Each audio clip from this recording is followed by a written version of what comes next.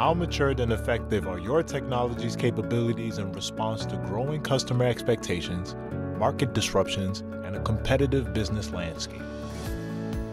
How well are you leveraging your technology to optimize your efficiency, your workforce productivity, customer satisfaction, and profitability? Only 27% of business executives reported being satisfied with their IT's ability to meet their business objectives. If you're unsatisfied with your IT, you need trusted technology partners like ActivEdge to aid your digital transformation journey. We're a Pan African IT solutions provider headquartered in Lagos, Nigeria. In our 10 years of operations, we've serviced clients in Ghana, Kenya, Uganda, and Zimbabwe. We provide cutting edge solutions across several tech categories cybersecurity, infrastructure and cloud, governance risk and compliance, enterprise applications, digital business automation and integration, digital banking and payments, data analytics, as well as software engineering and IT consulting services. Our workforce's competence and experience separates us from the pack. We've partnered with leading OEMs to deliver a wide range of transformative and innovative IT solutions. Our partners include IBM, F5, SmartStream, HCL, Nutanix, and many others. Our client base spans across banks, insurance companies, telecoms, oil and gas, manufacturing, and public sector. To get in contact with us, visit our head office at 4B Utomi Ayere Avenue off Admiralty Way, Lekki Phase 1, Lagos, Nigeria. Visit our website at www.activeedgetechnologies.com for more information or send an email to info at activeedgetechnologies.com.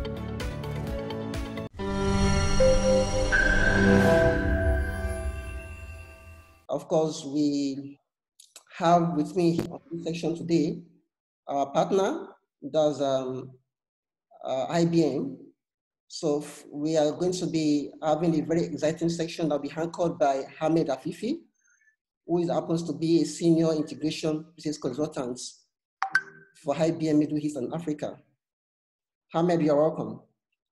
Thank you very much. Thank you for your time. Thank you so um, So um, uh, if you have any questions, while Ahmed is actually taking us this section, you can drop your, your questions on the chat. We pick it up and uh, at, at, the, at, the, appropriate time, we are going to be attending to those questions you may have. So without much ado, I would like to hand over to Hamed. Uh, the whole essence of this section is to share of experience how CIOs are leveraging APIs to drive their digital transformation and reinvent uh, uh, rejig their customer experience. Uh, I believe Hamed will do justice to the topic and we can all um, have our thought and rub our minds together towards uh, a very, very uh, uh, insightful section. Thank you so much. Ahmed, you can take over. Thank you. Thank you very much. Thank you for the introduction. Thank you, everybody, for joining. Um, good afternoon to all of you. Um, exactly uh, as my colleague was just explaining, we're here in an interactive session. Please, if you have any question, please reach out. I also added um, at the first uh, or at the my contact, so my email address is there. Is my LinkedIn profile is on this QR code. If you just scan it, uh, you can we can definitely reach out. I have the habit of we can connect uh, either by email or through LinkedIn. I would appreciate, of course, if we can connect professionally over the network. So the um, agenda for today is that we will be talking about API-led innovation across different industries, not just one industry, and how the API as a concept is leading in the digital transformation world. We'll also touch upon what IBM has to offer. There are different, maybe you've heard different words in the market. We will touch upon that as well. We'll go through a couple of use cases. Uh, hopefully, if we have time, we'll go through a very short and brief uh, demo. But most importantly, I would like to dedicate like 10, 15 minutes for Q&A that will be in the chat and also like a, a sort of roundtable discussion uh, that we will go um, and I hope it's a fruitful session for you all. So the first thing I'd like to start our uh, session together is that there are a lot of drivers for digital transformation. There are modern use cases that used to be. Sorry, uh, if if if please if we can all go on mute, I would really appreciate that. Uh, so unless there is a question, uh, please, uh, if it's urgent, just let uh, just unmute and please ask the question, or some of the moderators will definitely uh, let me know that there is a something that we need to address right away. So I was, um, as I was just talking about the digital transformation, there is a misconception that a digital transformation it's a it's a project. Actually, it's not. Digital transformation it's a journey. It's a multiple steps across a different path until you start to change the status quo. There are modern use cases that they weren't um, like common or available 10 years ago. Now they are like basics or fundamentals. Think of 10, day, 10 years ago, um, an internet banking, a mobile banking, for example, it was something um, that's really fancy, that's really every bank is competing to adopt. But now, I wouldn't go for a bank, for example, if they don't have internet banking. This is like basics uh, or basic needs that is in there. Moving forward throughout the next decade or two, everything is going into connected devices, connected cars, Internet of Things everywhere. And also, it's not only the technology is changing, but also the demands of the customers is changing. The behavior they are expecting better experience and at a reasonable or at a low cost. It's a fact across all the uh, all the industry. So one of the main drivers for digital transformation, one of the steps that's in there, it's what we are talking about is the API or the concept of APIs. So let's first define what an API means. So an API, as per the IBM definition, after all, it's a function that serves a specific business or technical purpose. So you have something exposed to be consumed through a defined protocol so that it serves a purpose. I'm exposing something like a service to provide either either a business benefit to my clients. So for example, I'm offering them to find the nearest store for example, to me. Or there is a technical capability that I'm offering, let's say, for example, um, a calculator API. I'm offering them something that they can use technically that can help them or can help. And as we will talk in the uh, in the f- few uh, slides going forward, there is a technical capability that's in there that I'm offering. I'm offering something with them for them to use. It's either a business benefit or a technical benefit. Let me give you an example. So Uber, the famous uh, taxi service, sort of speak, they offered a fare calculator API. And this calculator API was consumed or was embedded as part of Google Maps so that if I'm looking, for example, to go to um, the nearest, for example, to a, a, Marriott hotel that I'm staying at from the airport. So on Google Maps, I just type in the, the hotel name, and then one of the options is that I can call a cab. It's um, for the ride. So I don't need to open a, a Uber, the Uber application, and then I can uh, put the hotel name and start over. So this is what was a benefit for Uber themselves that they increased the reach, that they are now getting customers without the without the need for them to first open the application and then type in their destination. No, they increased the reach through Google Maps. And it's a win-win. So Google also benefit from consuming that API, that it provide a better experience for their customers so that they can now search for their destination and then tag that as their destination. They have the local destination. So once they hit, yeah, I want an Uber ride, it has all the parameters that's needed. And also, how much would that cost? So that's a simple example of an exposed API that helped both parties. One is benefited from the reach, and the other benefited from a better experience.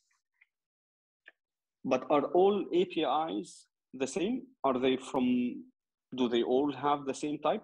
The answer is no. So you have different types of APIs. The first type is public API, something that everybody can access, everybody can use.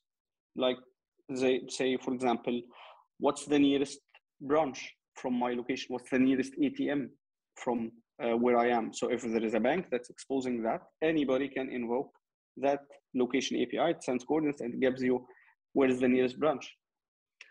The second option is a member API. A member API, so it's basically, again, an API, but it's only accessible through specific members of a specific, for example, community.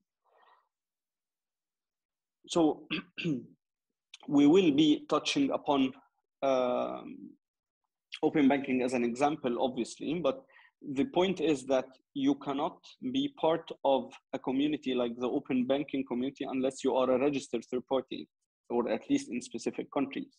So if you are a member of that community if you are registered if you are a legal player you can invoke that api otherwise you cannot.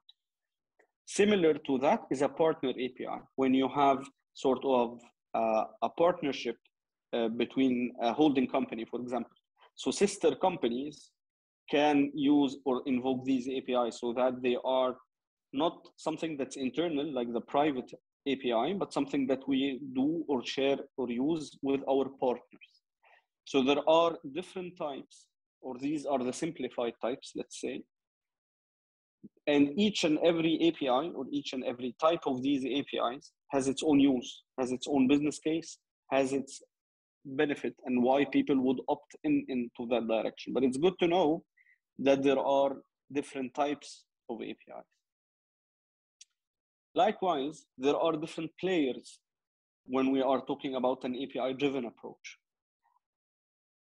Um, there is no particular reason why I'm picking banks, uh, but I understand, of course, that uh, part of our attendees is from the financial sector, which is something that I appreciate uh, their time and presence. But this does not mean that API driven is mainly, um, let's say, focusing about banking. It's not. It's just that everybody is dealing with a bank one way or another. So it's, it's something that we can all relate to, basically. Um, so again, to the type of players. So there are multiple types of players or modes of playing that there are different um, that one organization can adopt. The first one is that they offer the, the, the service, the backend services. They are exposed as APIs, but they are the ones offering the service again to their customers. And this is a typical um, topology, let's say, because basically most of the players they offer services to their customers. There is nothing new in there. If it's a supermarket or a retailer, then, for example, they have uh, their backend system, their ERP, their stock, so they can show each and every SKU that they are selling. They exposed different services as APIs to be consumed by a mobile application to be served to their customers. Another type is that we offer only the backend kind of thing, and we expose that as an API for others to consume and to offer to the customers. Think, or let's hypothetically think that Uber does not have a mobile application. So Uber here would be the one providing the service. It exposed some of its services as APIs for others to consume and offer to customers. Eventually, you will be using and utilizing the service, but you don't own the distribution channels. A third approach is that the other way or the opposite of the of type number two is that I have the consumers and I have my platform and I offer you different services based on APIs that are exposed. The fourth and last and the most dynamic topology that you have is that you are the owner of APIs. You are the connector, you are the bridge, so that your customers or even extended customers are using your APIs, as well as the service pro- providers are on the other end of the spectrum. Think about payment gateways. They don't own the customer, they don't own the backend services, but they connect both. I have uh, an electricity bill I would like to pay, and I want to pay that to the utilities company in my city. So as a payment gateway in the middle, you you are serving different customers. Whomever is interested in paying that bill, come around and connect to my service so that you can pay your bill. And at the back end or in the back, behind the curtains, I am connecting to the merchant that you are asking for, and I am serving them the payment. So I am the API bridge between siloed entities.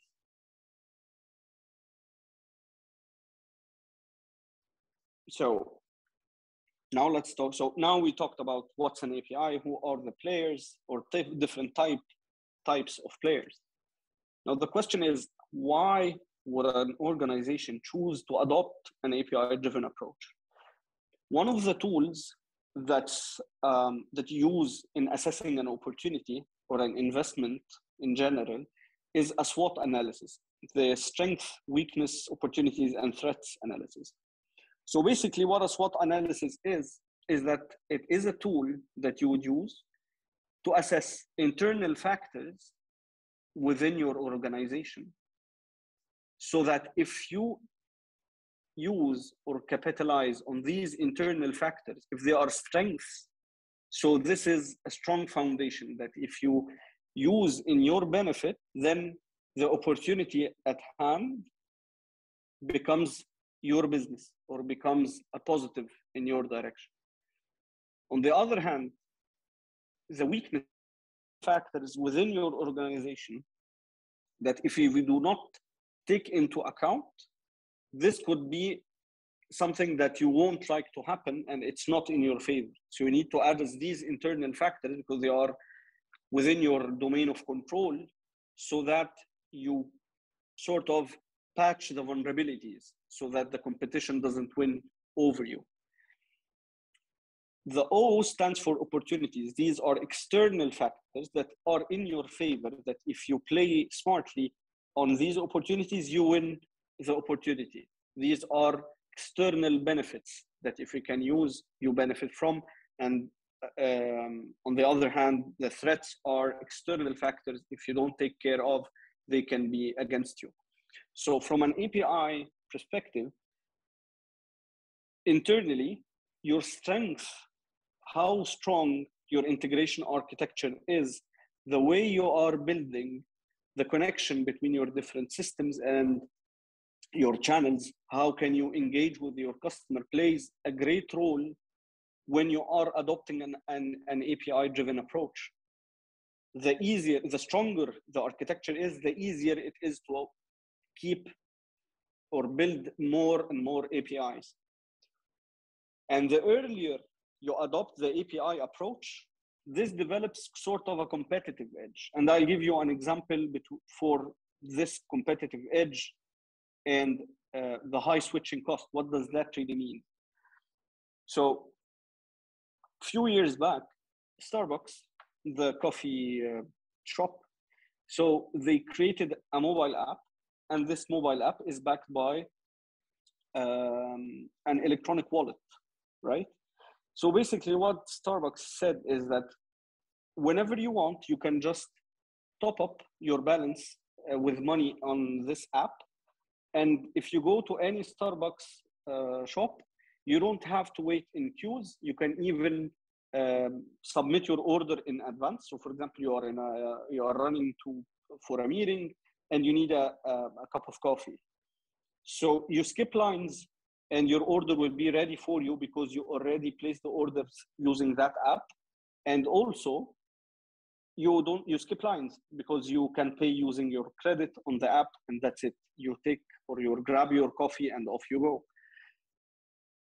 This has nothing so as a as a as a coffee lover i don't know anything about the bank behind the application the wallet. I don't really know which bank starbucks is putting its money in but because that bank exposed that api Starbucks used that API for it for the for its wallet to back its wallet. So because this bank was early enough to expose that API, it benefited from all. Can you imagine how many people drink Starbucks coffee and they are putting their money using that wallet? So imagine the influx of cash flow that this bank is getting because it exposed this one API. This is what I mean by you have a competitive edge that's in there. And also, if another bank exposes expose that same API, why would Starbucks switch its application from that bank to the other? This is why switching cost would be high. It's not something that has to do with licensing or software of any kind. It's just a business barrier. I wouldn't switch using that API to to a competitor because the competitor was late in the game. And that will take us to the external factors that, and it's very related to that. If the ecosystem of uh, the third parties and the potential partnership is there, the more APIs and the more well and secured APIs that you expose, the more attractive and appealing your business is to these third parties. So remember the different types of players. There are other um, players that do not certainly need to be um, uh, a bank, for example, to provide financial uh, services. So there are people hungry for APIs. So the more APIs you provide, the well documented, the more secure, the more you can provide a value added service. And this will enable you to reach clientele that were not, um, that you cannot attract before.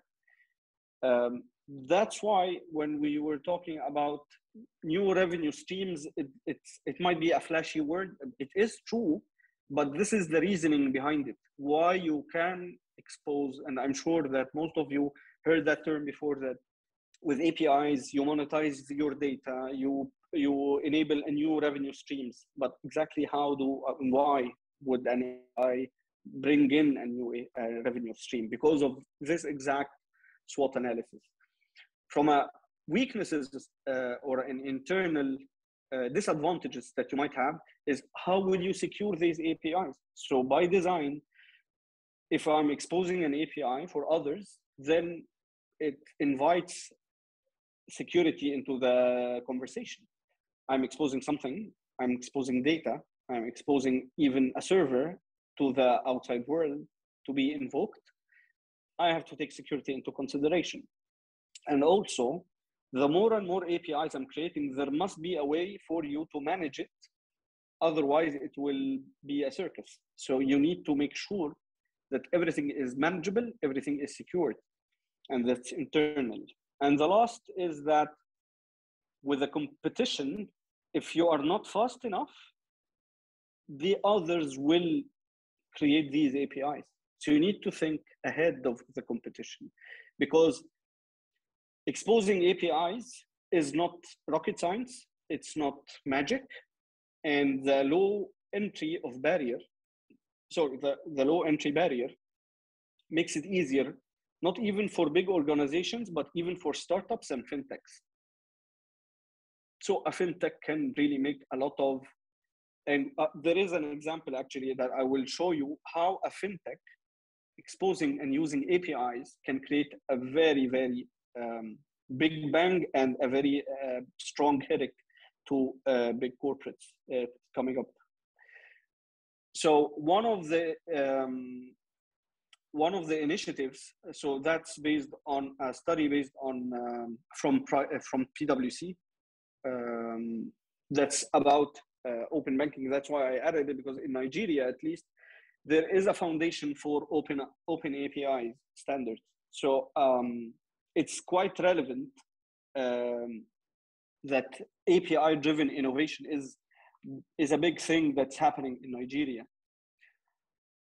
And I want to also highlight when we talked about third parties and the different players. Um, so fintechs, and I'm sure they are picking up everywhere in the world, but these are basically companies offering banking services, but they're not banks. They can be um, providing payment uh, services, they can provide the insurance, they can provide you financial consultation based on your spending, and there are other or a lot of uh, players or different hats that the fintechs can um, can can can do.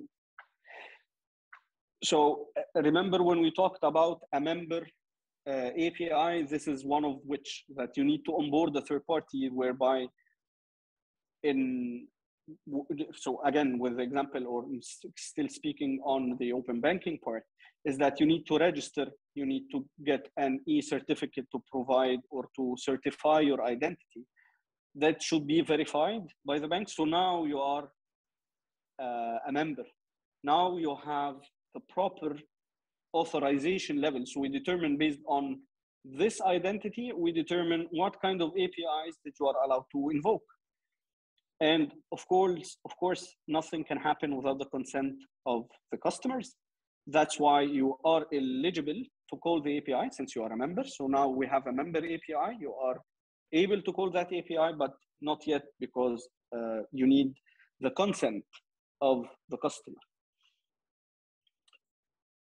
There are specific uh, or specific rules governing the, the, the part when open banking, but I don't want to talk a lot about open banking if the majority um, disagrees, sort of speak. But I just uh, I wanted to have to add like three four slides around open banking specifically because I think it's very relevant to the Nigerian market. Uh, question here. I think someone went on uh, unmute. No. Okay. No questions, Ahmed. Just go ahead, please. Okay. Okay. So basically, um, so how do you stay relevant? There are different dimensions that you need to take into account. Um, most importantly is a strong customer authentication. So again, you can see how security starts to kick in. So they ask you in order to make sure that this customer uh, we are providing services on his behalf and with his consent, and will need to make sure that this is the person himself. So it's not a multi-factor authentication and off you go, but it's kind of related. So you have to provide something that they know, which is basically a PIN or a password, something that they have. So you send some challenge or a nonce to their device. And lastly, you need a confirmation with a biometric parameter be it a face ID, a fingerprint, uh, or an who knows an eye scan. I don't know, but you need to make sure you enforce strong authentication. You need to take into account your, the protection of customer data against frauds, against attacks, and also there are sort of transparency on what can be shared. And again, upon cost and consent, everything needs to be cost efficient and also consented by the customer. So one of the, um, if you think again uh, about the, the, the concept of APIs, so one of the, um, one of the, actually the leader, not one of the, so the leader of uh, this open banking framework is the UK. And in UK, one of the booming uh, use cases over there is the aggregated view, whereby you log in to your bank or to the fintech application slash website. It starts to talk to all the banks that you are registered with, and then it provides you with an aggregated view of how well are you doing and if you need any financial advice. Uh, the most famous uh, and the most dominant player in the UK is Monzo. So basically, what Monzo is, it's not a bank. It's very relevant to our um, to our discussion, just to let you understand why APIs can be or can deliver a very big difference. And Monzo made a lot of impact in the financial sector in the UK. But even if you are not a financial sector or a bank, but you get you will get the idea and the approach and how big APIs uh, are. So what Monzo is is that it gives you access and visibility on all your accounts, be it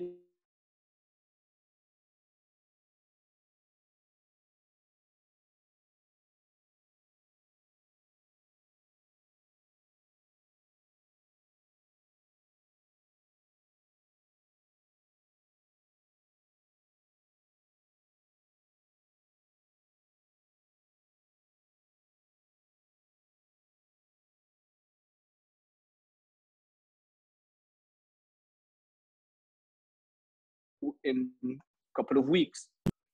Yeah, so that's this was not possible if they do not play the API game.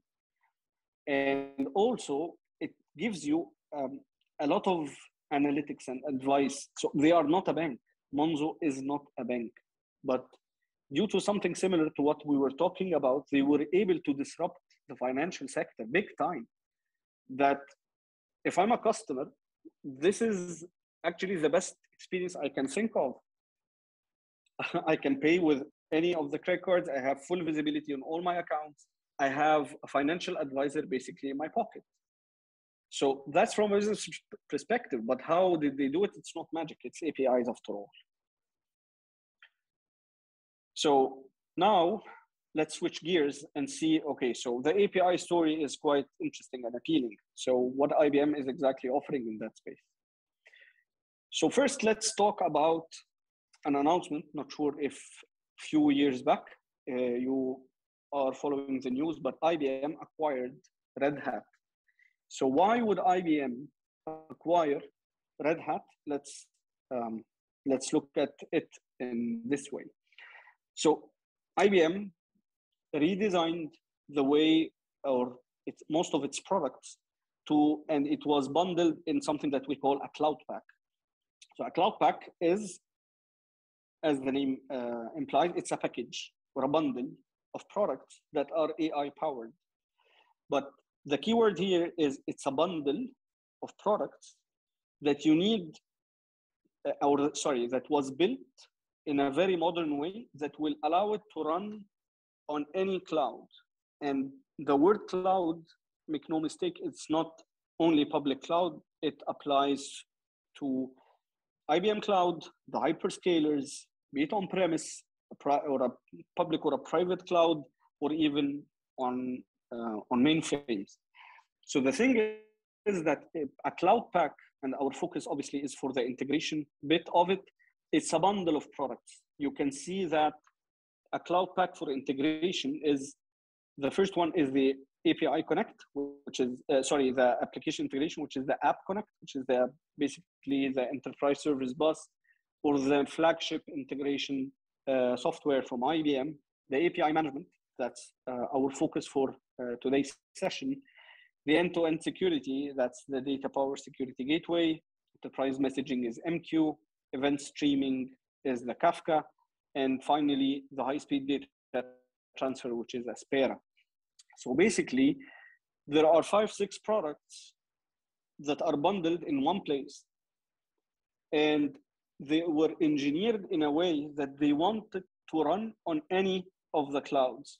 So what is the missing piece of the puzzle that will enable all this software to run and to ensure that if it works, for example, in the development environment, it works in the testing environment, it works in the production environment, regardless of the type of hardware it's running on or the cloud provider that we chose or on our own data center in the prem on the on premise the bridge here is the red rectangle over there that's the red hat openshift part Okay, so, and the, the main idea here that IBM, one of the the main drivers was there. The, what and the answer to the question I asked, what makes it run everywhere, is containers. If I make sure that all my products run in a containerized way, which means on containers, then it will be portable, it will be scalable, it can work on any environment. Yeah. So what is a container? So a container, it is a way that you package your your product, or mm, in a more accurate way, is to break down your product into smaller parts, whereby each and every part is encapsulated, it's independent on others. So if you compare virtualization to containerization, a virtu- in a virtualization, it's basically virtual machines. So for a virtual machine, you have the host, so the host hardware, the host operating system, then a hypervisor, wrapper, ways to manage virtual machines, and then you have the guest operating system, other libraries and stuff, and then your application. There are a lot of clutter and layers over there. The container, the containers or the containerization eliminates big chunk of that because you have the host hardware and the operating system. You can guess what the operating system would be. It would be Red Hat, obviously, uh, Red Hat Linux. And on top, you will have the containers. But the beautiful thing here is that if you lose one container, another is spawned automatically. So you don't need, or let's take another example. We have a lot of APIs. So let's think that each and every uh, application here is an API service, totally contained or self-contained. There are no dependencies to the other APIs. And we invented that new big uh, hit API, and we need to scale that. In the virtualization world, just to scale for that API, you are actually scaling up all the virtual machine. But with the containers, it's not the case. You can scale up one service without affecting any of the surrounding. So there are a lot of value added when we go with uh, containers. To make it even simpler uh, about the containers, I want to think about so a, a Formula One car, which would represent your application and business logic. You want that to be run. You want that to be to run on something that's sort of disposable. So on an F Formula One track, you are uh, lapping uh, in the race, and then all of a sudden it starts training. You need to quickly change your tires to the wet uh, tires in a very quick and um, fast way. One or two laps down the, the race, and then you lose one of the tires is damaged. You need to change that quite fast. So a Formula One car is as good as the set of tires it's running on the more the containers are standard, nothing is irregular over there, it gives you portability.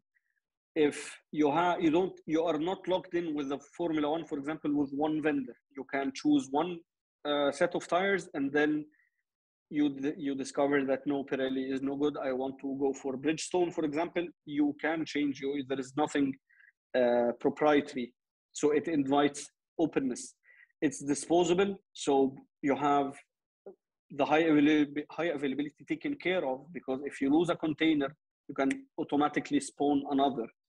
And lastly if you need to scale as a, the example i mentioned a couple of minutes ago it is a very scalable technology. This is why ibm chose to acquire red hat for their operating system but also how will i manage these containers? So i need someone to operate, which is the crew in the pit.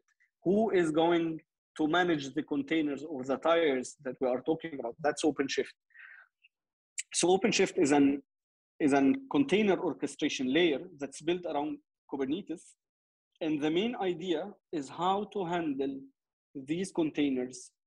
You define a desired state. This is, I want three replicas, five containers per uh, API, for example. So each time the the OpenShift checks on the pods, which is basically the container, and if it's something, it finds something that's unhealthy or something that was uh, brought down, it automatically spawns and self-heals. Want to scale, you scale on a fine-grained level. That's why containers are important. And that's why IBM acquired Red Hat. So you are you end up with a container that's managed by Kubernetes, and then the host operating system is the uh, Red Hat Linux. And now, so that explains the red rectangle at the bottom. I think it's, if there is any question, please let me know. But now we need to focus more on what IBM has to offer in the API story again. So we focus now on the API management part. So when, when IBM was offering the API, so basically we offer it into four different uh, parts, or it's made up if you make like sort of an anatomy. You want to create an API, and then you want to make sure that this API is secured, and you only, or sorry, you you also would like to manage these APIs because the creating an API, it's not something that you would do once and then you forget it. There are versioning over there. There's a, a life cycle of an API that you need to govern to make sure that you are really controlling how the APIs are created, developed, retired uh, across uh, the whole life cycle. And finally, if I'm exposing an API and I'm trying to attract a third player, or I'm even trying to attract uh, other developers in the community, I need to provide them with a socialization, uh, sorry, uh, with a social platform that they, for example, they need a forum to discuss the APIs. They want to ask questions and people to respond. They want to read the documentation of your APIs. So you need sort of a portal, and this portal is where your customers, quote unquote, that are consuming your APIs to understand and to consume these APIs.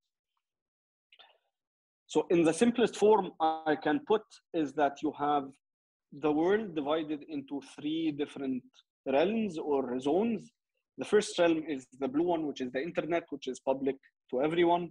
The demilitarized zone, this is the perimeter network or the edge network where you place usually your uh, security uh, measures and gateways. And lastly, the green one, which is your intranet, which is basically your internal network. So if I'm exposing an API, I cannot expose it in the green field. I need to expose it somehow, and we'll see the somehow, in the red zone, which is basically the DMZ. So that's why you need an API gateway. And the gateway is called the policy enforcement point. This is where you enforce all your security policies or your mandates or your checks or your traffic control so that you make sure that only valid and like safe uh, messages reaches your backend. And also what's exposed to the outside world as well is the developer portal that we talked about. I want my consumers to be able to socialize, to read documentation, and also to know about the different versions and to subscribe to my to my APIs.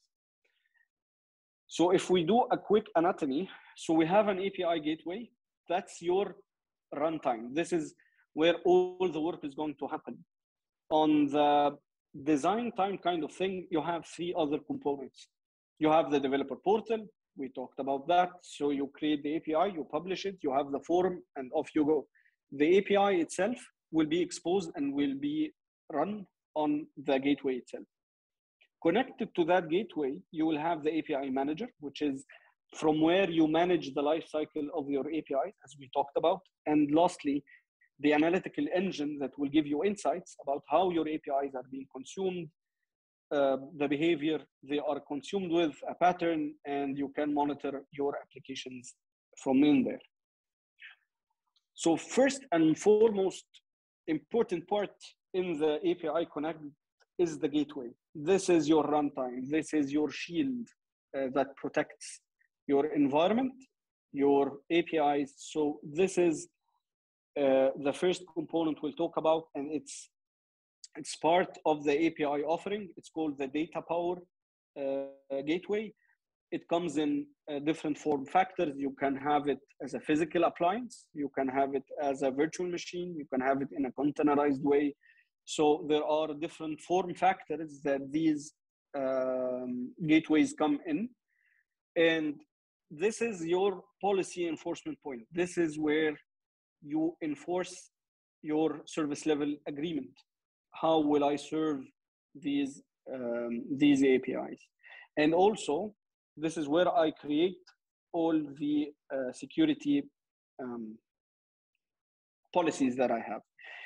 To make it visual, this is again something very similar to the same uh, the same picture from the previous slide, but it has the different or core use cases that why or how you would use data power. Data power, as I said, it can be deployed in the DMZ or the perimeter network, as well as some, and it's optional, uh, some customers that I've worked with, for example, they prefer to have a secondary internal gateway to apply internal security as well as to another one on the uh, outside world. Uh, one of my customers also in, uh, in the region, he asked for this physical separation for security purposes. He didn't want to have anything that is shared between the DMZ and the trusted zone. So sometimes there are requirements for two gateways back to back, but it can work with just one. The data power, it serves as the authentication, authorization, and so we call it the AAA, authentication, authorization, and audit uh, so that you make sure that whomever is invoking your API is eligible to do so. You also can control the amount of traffic that's coming in. So I have sort of, let's say, for example, 10 APIs, two of which are very crucial and people invoke them a lot. And we know from a previous capacity planning exercise, for example, that our environment can handle up to 50 transactions per second. More than that, we'll start to see performance impact and more than a threshold of, for example, a breaking point of, let's say, 60 transactions per second, then our systems will start to fail. So in order to solve such a problem, which is very common, and I've seen it with a lot of customers, is that you employ a traffic shaping policy, whereby you say, for example, I will allow a, a specific rate to pass, let's say 50 transactions per second. And more than that, I have the ability to reject anything that goes above the 50, or I can queue it, put it on a queue until the threshold starts to go below the 50, and then I will start to consume from that queue. And also, I can just pass everything and I will just notify uh, an administrator, for example. Each action has its own business case. I've seen them beforehand. I've seen customers allowing more than the threshold because they used to charge per API call and then they wouldn't want to reject any extra calls because it's extra money after all. You can enforce message security, you can uh, provide uh, um, um, a, a, lot of inspection that's in there, digital signing, encryption, decryption. So a lot of um, possibilities over there. I just noticed the time that I think we are uh, running quite um, out of time. So I will start to pick up the pace. Please, if there is anything that you need to um, uh, to ask, uh, we will go through the questions. Please leave your questions in the chat section. So as an enforcement or a security shield, I just want to highlight that it protects your environment sorry against unwanted access and also attacks and frauds like denial of service attacks sql injections xml threat uh, and json uh, in, um, attacks there are a lot of xml threat protection uh, or a lot of xml threat attacks that can be um, uh, can can, a company can be or an organization can be vulnerable for. So out of the box, the data power provides you with a lot of features just to protect whatever you expose. It is a security gateway.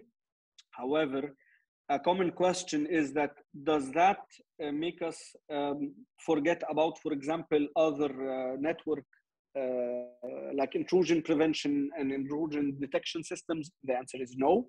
The data power operates at the layer seven uh, and the messaging part. It inspects messages. It can do or it can intersect with uh, some of the capabilities of other uh, network appliances. It has a web application firewall, but it mainly operates on the layer seven part. So that's why, make no mistake, it does not replace, it complements uh, a lot of um, network appliances that are there. This is basically how the data power would, uh, or the API gateway would do, for example, if you talk about security and authentication, it extracts your identity. There are different options, be it a SAML token or uh, WS security, for example, a lot of options. And also it resolves what resource or what operation or what service you are trying to access. It then goes into two parallel paths, one that decides if you are authenticated or not, and the other decides if you have uh, the resource that you are trying to access. It maps both and it checks if you are authorized. In parallel, it also audits so that you get every uh, there is an, a very detailed audit trail that can be created as well. It can uh, start routing to the backends based on something that's within the message itself. So based on the content, it can do dynamic routing. It can do some, and it overlaps a little bit if you need some protocol changes. It does that as well, be it a message, a file, or a different protocol. It supports that. And obviously, and this is hopefully, if you have time, I can show you um, a demo uh, whereby you can see how it can transform one uh, part one part of a message into the other so that it can invoke uh, backend uh, um, a backend service. Also, it can does self load balancing. So sometimes you might not need a load balancer behind your security gateway or the API gateway. It can balance two different backends uh, and it provides obviously caching. Um, more around the second component, which is how will I manage the lifecycle of um, the API. So the way you define your API, it's web-based.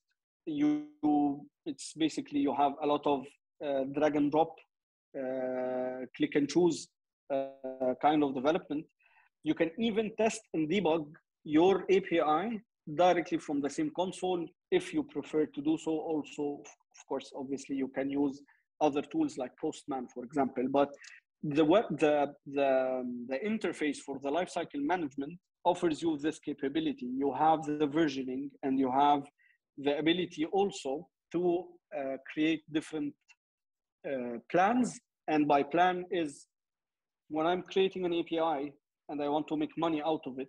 Uh, so I will start to make sure that I want to keep track of what's happening. And also, I would like to um, control how many times are you allowed uh, to invoke or call that API.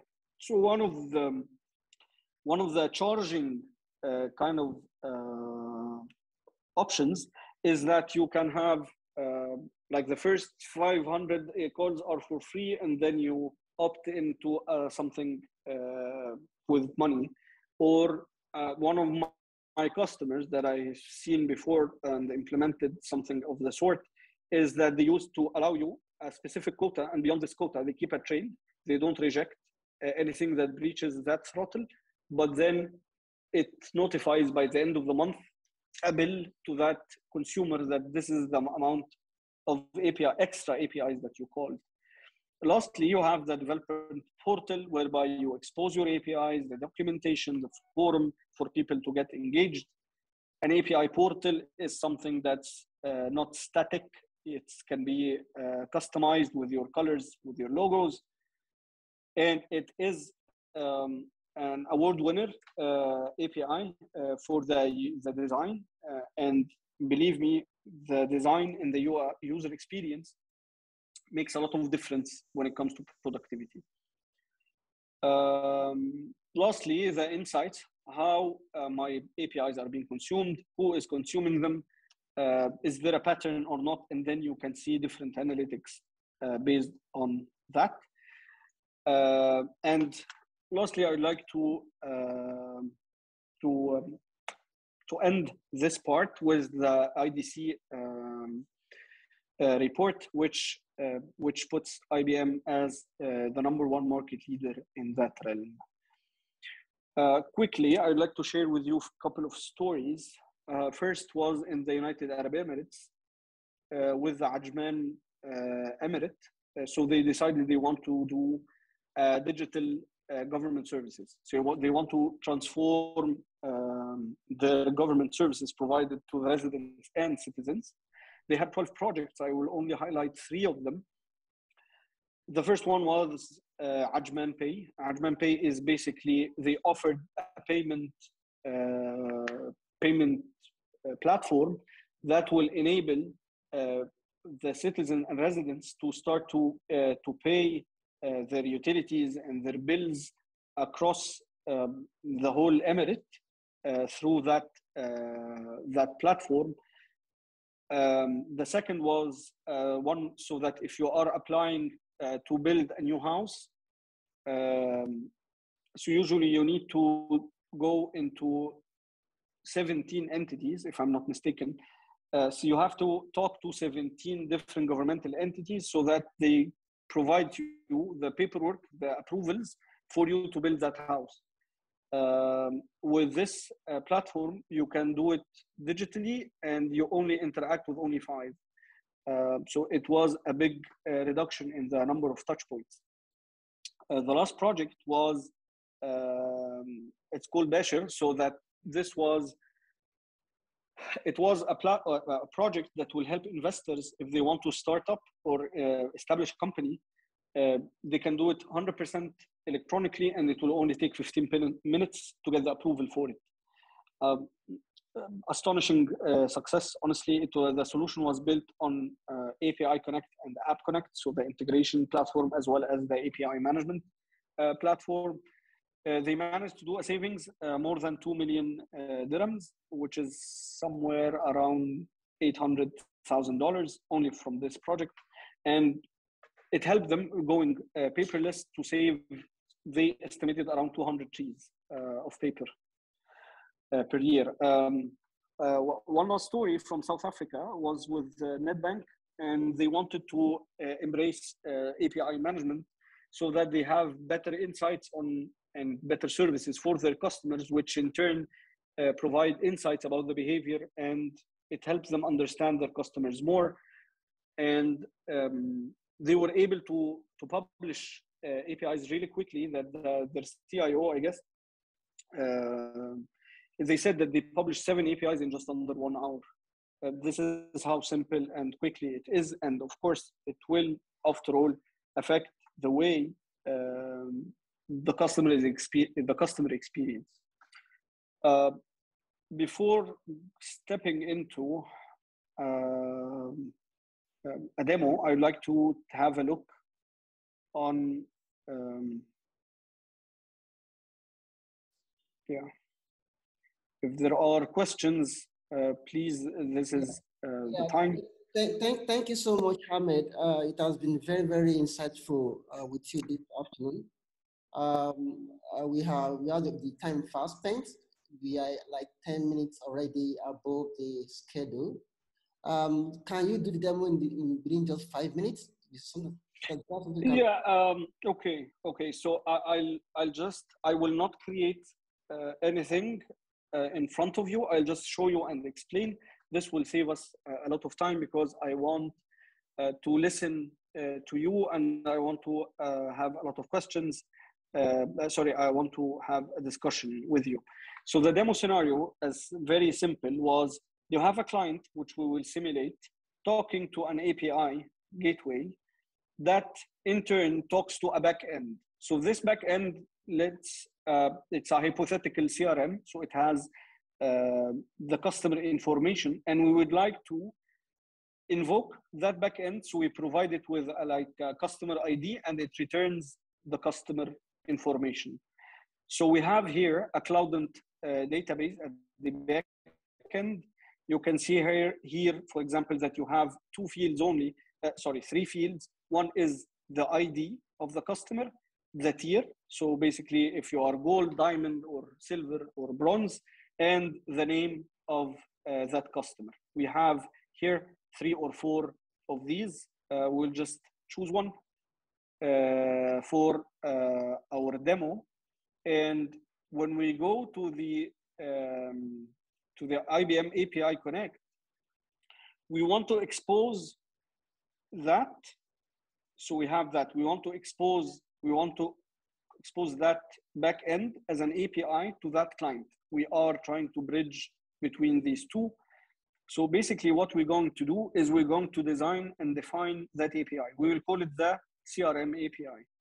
So when you expose, expand, sorry, this path, I was, the plan was to build this in front of you again, but uh, this is the quickest way to do it, is that we have an API, the CRM API, it's a GET API, that gets one parameter, which is the ID, right? Now, on the gateway, this is how you create a policy. So you have this invoke part, it invokes the backend. So we define here at the invoke, the backend URL. So that's the API we are trying to, uh, to expose, okay? So if we go to this, to the postman with this, with the Cloudant, if we give it this uh, user ID and we do send, it will communicate with the backend and will get back the Mo record, right? So that here we are invoking directly the backend. With this one, with the CRM API, we are talking to that gateway, which in turn talks to the backend and gets back from the CRM the information and it serves back to the client. We are simulating the client with Postman. So here, if we add the same ID and we send, you get the Mo Salah record if we go with, let's try a different ID, for example, let's take the, no, I'm a fan of Ronaldo. so if we take, take that one and we change the ID itself, and then you invoke it, now we are talking to the gateway and it gives you back the Ronaldo record. So we are here invoking the gateway over there to the backend.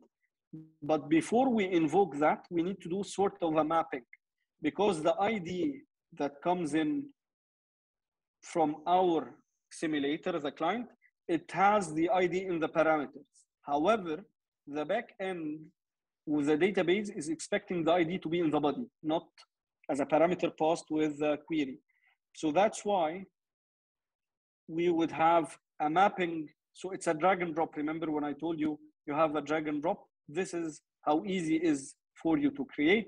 You define your input, you define your output, you connect them uh, with a click of a button with this green line. And then from the postman, the more you, you change the ID, and then it gives you back the same result. So we implemented that first bit of the invocation through an API. Also, you can employ um, an OAuth uh, through the security tab.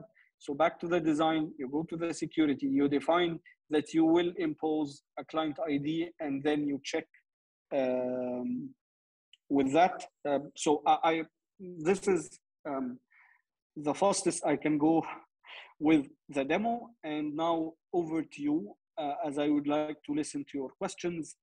Um, yeah. Okay, thank, thank you so much, Hamid. Thank you. Uh, I know we are really, really short, short of time here. Um, yeah. Uh, we wish we could have much more time for the demo, but that's not an issue. Should anybody actually need, uh, have a need for a demo on the call, you can always reach out to us. We are happy, we are very, very much happy to organize a demonstration for you to showcase the full functionality of this uh, uh, this highly valuable uh, platform I will know that it's not, it's not going to be possible to really showcase, I mean, showcase all the features of such a versatile um, solution. However, just to give you an idea, the possibilities, what, what was possible if you are actually looking at an API-driven approach to your uh, to drive your innovation and digital transformation journey. So if anybody has questions on the call, let's uh, now it's, it's, time for Q&A.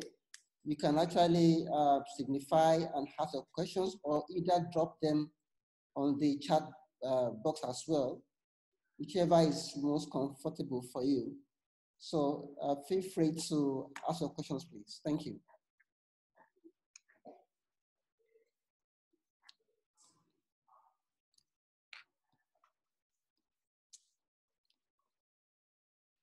Um,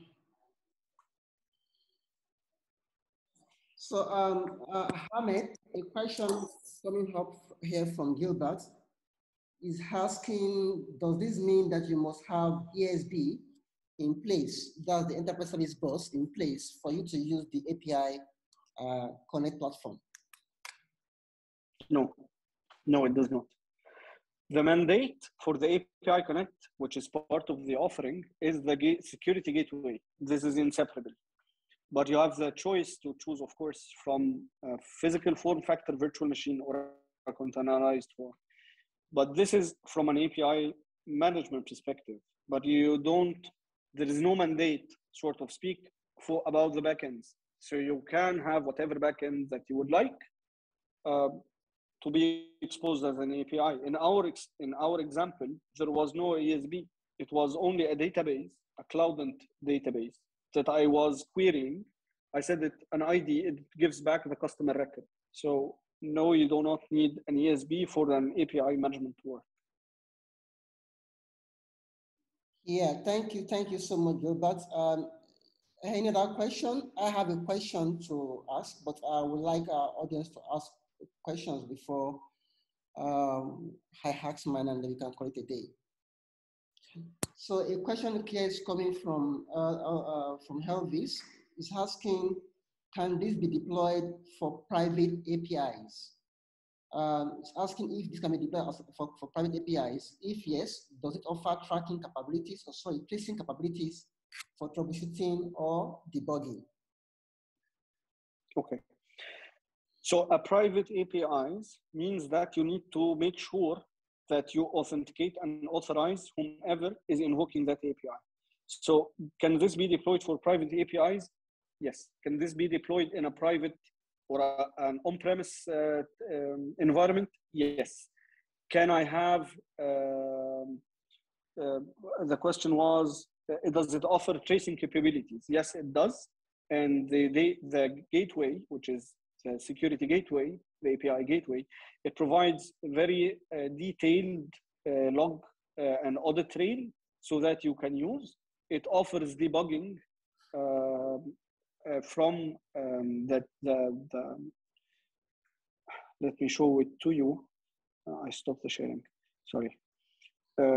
you can see here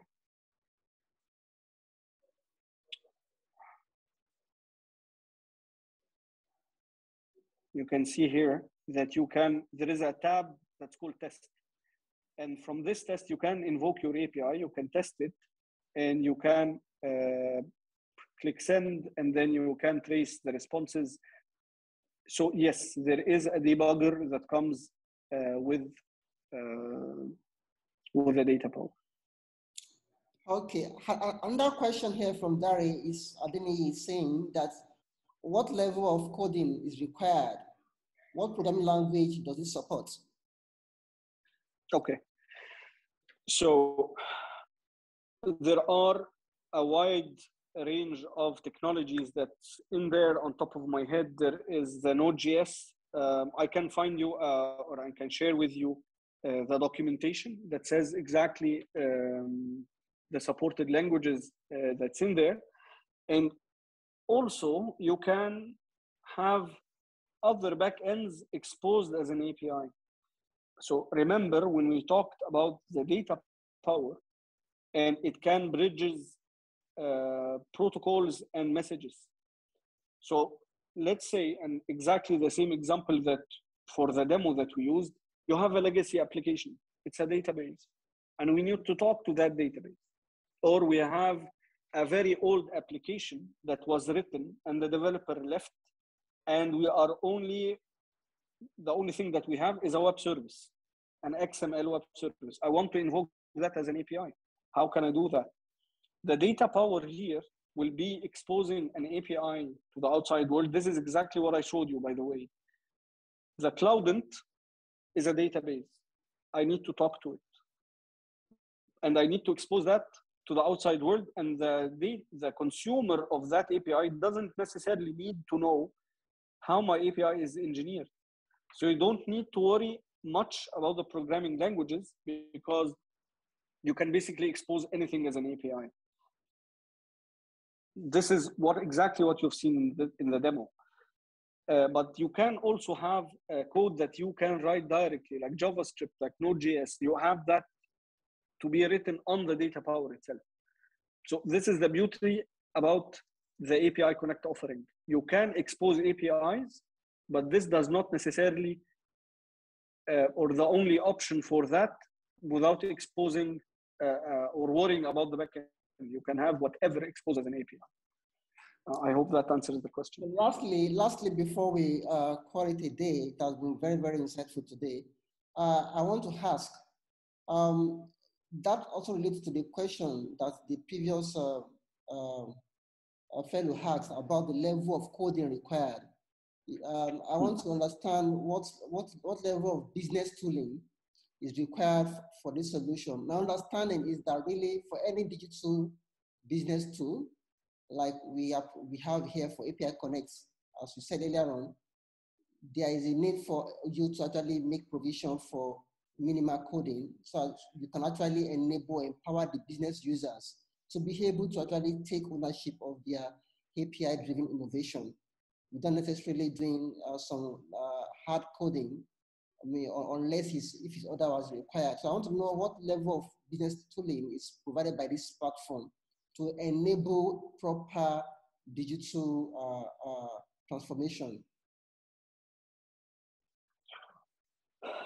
Okay, so it's it's quite composite uh, question, uh, but so the answer is that if you want to create an API, um, again, I created a lot of APIs without writing code because there are sample codes even uh, that's shared in the IBM documentation, okay?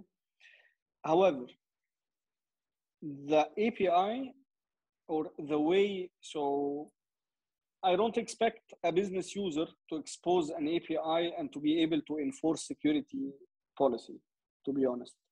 But it takes two to tangle. So you need someone, um, and this is the um, you have the business driver and the requirements coming in from the business users.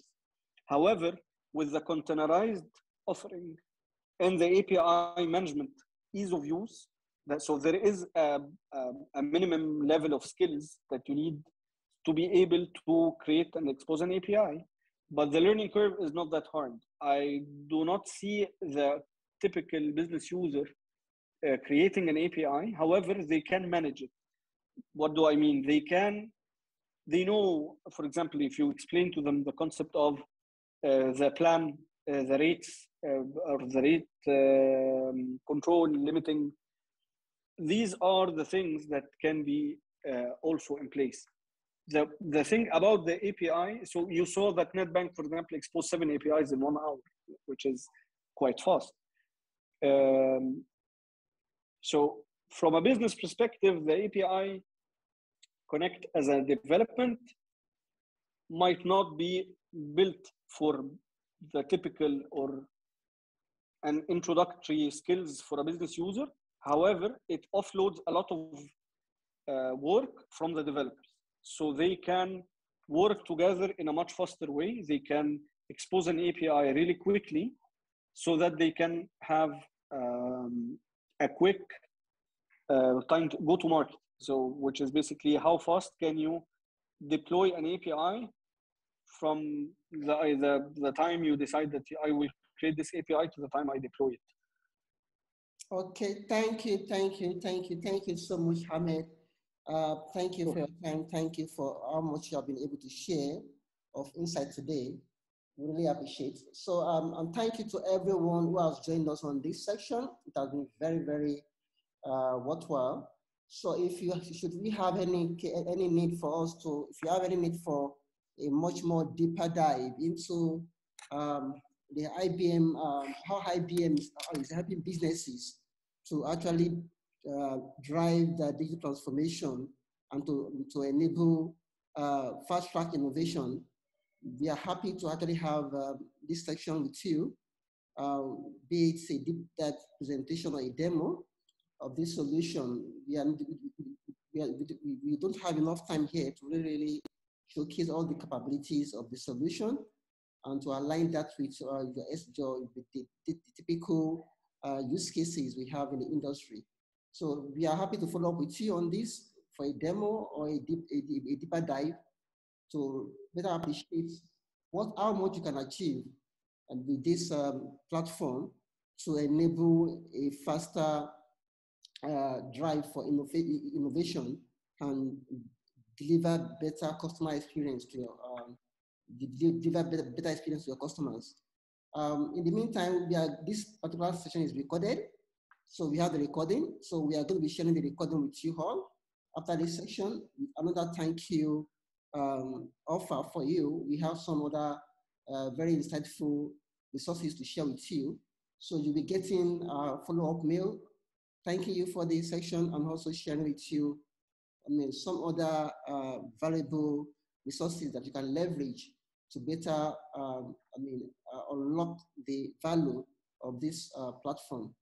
Thank you so much. I want to thank everyone. I want to also appreciate the presence of our, uh, of uh, our MD, George Hagu, who has been on the call from, from the beginning of this section as well. George, we appreciate your coming. We, we, we, we value your leadership. Thank you so much. Uh, um, I don't know that you have one or two things to say before we close the section.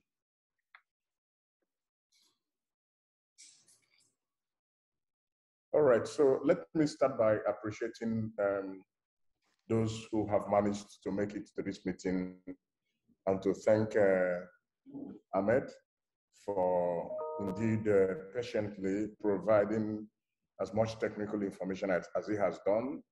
This is an extremely value adding uh, lecture we have had. Um, and it borders on innovation, it borders on integration, it borders on extends, extending the reach of the various organizations that want to leverage API um, uh, technologies to expanding their business and attracting customers. Uh, just like Aliu said, we are very committed to really driving this aspect of innovation as at the, at the best possible pace because there's a lot of emphasis on speed. When you do what you do these days, um, affect how much value you get out of it. So apart from the, the presentation we have just had, we are also open to one-on-one engagement that will enable you to get the most um, the most knowledge and information required for decision making. So please feel free to reach out to us, make your demands, seek your clarifications, and we shall happily reach back and ensure that you get to where you want to get to. On this note, I want to appreciate you also, Aliu, and my colleagues who have made this possible. I want to appreciate Uni uh, from IBM and all IBM team colleagues who are able to join this meeting and make it happen. Thank you very much to all of you. And then we are on standby for customers who have a lot more questions to ask. The more you ask, the more you get to know, the more you can refine your strategy. Uh, so thank you once again, and we'll stand by to get all those uh, questions addressed. God bless you. Thank you, George. Thank you so much. Um, so that brings us to the end of this session. Uh, we are going to be following up, as we said earlier on, with um, some other insightful um, offers from us. Uh, do have a nice day. God bless you all. Thank you. Thank you all. Thank you very much. Thank you, Aliu. Thank you, everybody. Thank you. Bye-bye.